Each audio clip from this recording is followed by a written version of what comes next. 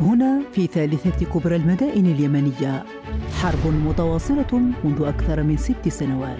ما بقى إلا إحنا وبعض البيوت اللي ما يقدروش ينزعوا من بيوتهم وسكان منشغلون بالتعايش مع المخاطر والمعاناة اليومية. أهالي يقنصوا بالطرقات. أهلا بكم في تعز. ما أقدرش أخرج إلا يعني وقت الصلاة الفجر. أهلا بكم في عين المكان.